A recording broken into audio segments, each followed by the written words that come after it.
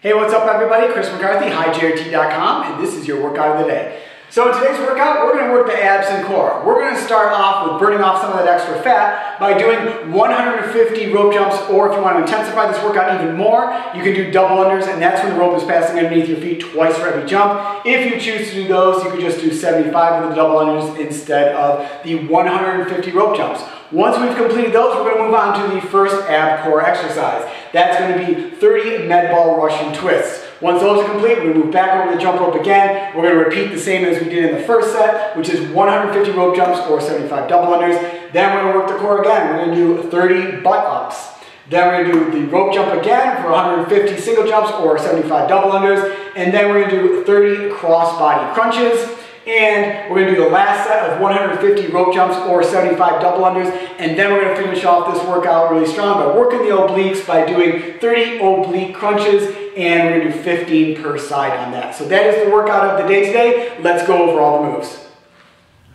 All right guys, so as I mentioned in the intro, we are gonna be working the abs and the core today. But first off, what we're gonna do is we're gonna work off some of that extra fat in the midsection by doing 150 rope jumps or 75 double unders.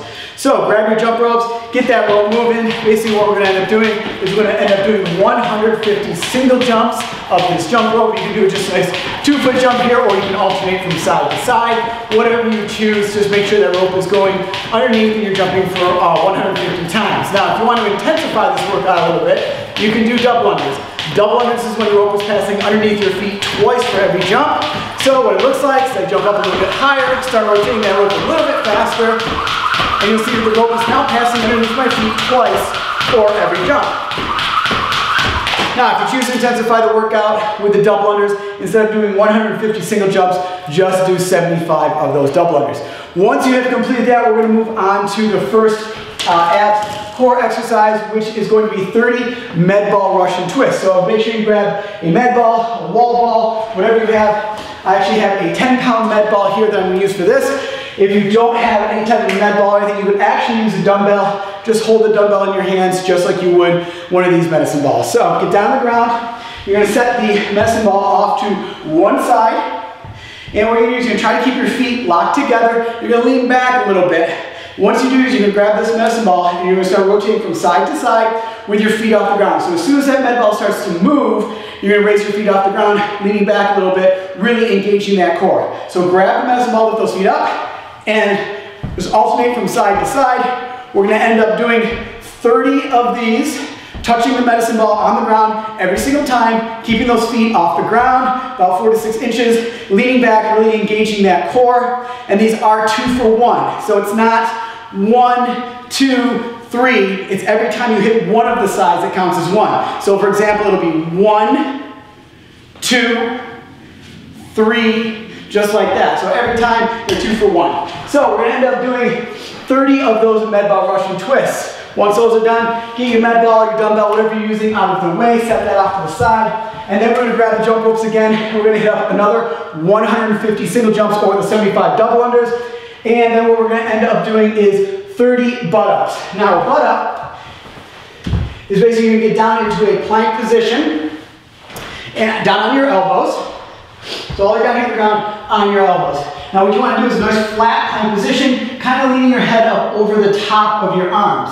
And you're on your toes. So what you do is then you just simply raise your butt up off the ground, kind of in a pike position. So you're going to come all the way up and you're going to sit back, kind of bring your head back towards your core and look down towards your toes. Then back in this nice plank position, hold this for a couple seconds down here at the bottom, really engage that core, and then once again, back up, rotating back and bringing that butt up into the air into a pike position and holding that down into that plank. So we're gonna end up doing 30 of those. Then we're gonna grab the jump ropes again, 150 jump ropes, 75 double unders. Then what we're gonna do is we're gonna end up doing 30 cross body crunches. So once again, we're gonna get down on the ground here. What we're gonna do, put our legs out in front of us, we're gonna lean all the way back down on the ground. We're gonna slightly put our hands down, back behind our head, and we're going to go across our body with some crunches, raising one leg off the ground. So it looks like this, get down on the ground, lean all the way back, bring your hands behind your head, and you're gonna crunch up and rotate to one side, put the other leg down. Crunch up, other side. Keep a space in between your chin and your your uh, chest down here because you just want to make sure you're still looking up. We don't want you to pull your head down. So you make sure you're always looking straight up in the air. Really engaging that core, the lower abdominals.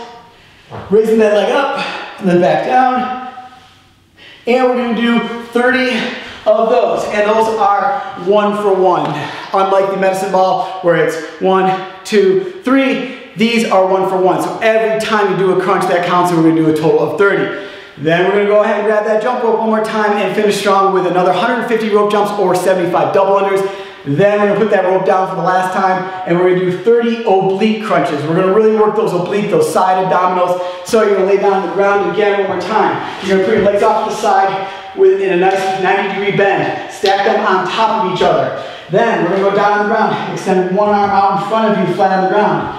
Make sure you're on your side. And really gonna work those side abdominals right in here. Put one hand behind your head. And then you're gonna squeeze up all the way back down.